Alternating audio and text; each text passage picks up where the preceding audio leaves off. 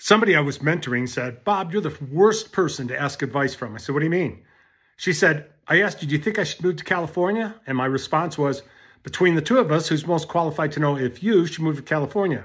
Or who's the most qualified to know between the two of us if you should marry him? So that's one thought. Be a critical thinker. Think for yourself.